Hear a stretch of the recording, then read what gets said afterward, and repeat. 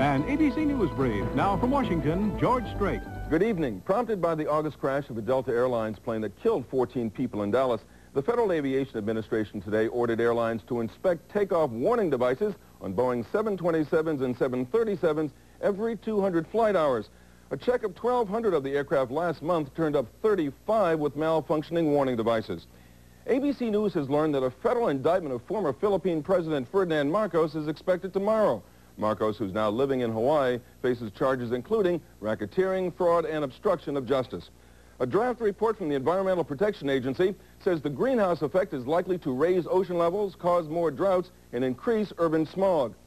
In Alaska, rescuers racing to free three trapped gray whales began using a propeller-like underwater ice melter today to keep the mammal's life-saving hole in the ice from freezing over. An ice-breaking barge is making slower than expected progress in reaching the area.